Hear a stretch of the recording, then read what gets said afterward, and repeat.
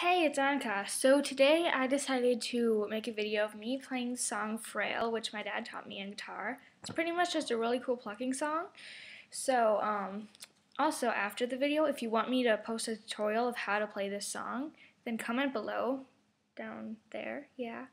Um, that'd be pretty awesome. So I think instead of playing songs that I'm gonna like sing to, like pop songs, I'm gonna be posting like cool plucking songs that my dad teaches me because they're pretty awesome. So tell me what you think.